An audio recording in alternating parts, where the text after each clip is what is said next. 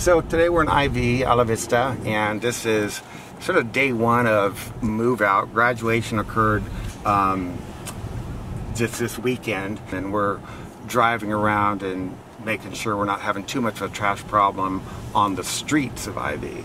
What I do is make sure that there's not um, a health problem or just such an overflow problem that it impedes traffic or just becomes unhealthy. Marborg's doing the dirty work by taking out most of the uh, big items like couches and uh, plywood and all the big stuff. The hazardous material is not accepted, so that has to go to the UCSB hazmat facility.